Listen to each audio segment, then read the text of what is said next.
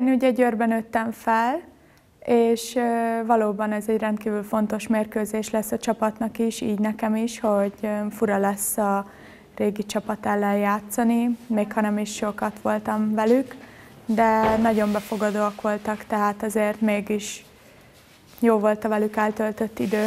Semmiképp nem mondhatjuk, hogy ők ezt könnyedebben vennék, szerintem ők is tisztában vannak vele, hogy tudunk meglepetést okozni nekik, és hát gyors játékot játszanak, amit fontos lesz megállítanunk. Ez a gyors játék megmutatkozik a lerohanás számaikban is, szóval úgy gondolom, hogy legfontosabb a védekezés lesz, hogy arra nagy hangsúlyt fektessünk, de már elkezdtük a felkészülést rá, szóval úgy érzem, hogy ez rendben lesz. A lányokkal mindent megteszünk a regeneráció érdekében, és ebben a stáb is nagyban segít minket.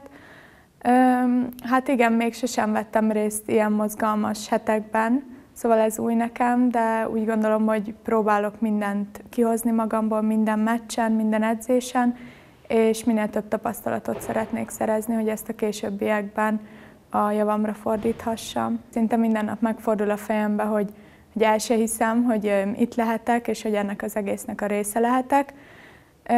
Viszont az, hogy a csapat és a stábbal ezt így együtt megéltem, ez nekem nagyon megtisztelő érzés, hogy ilyen játékosok és ilyen stáb vesz körbe.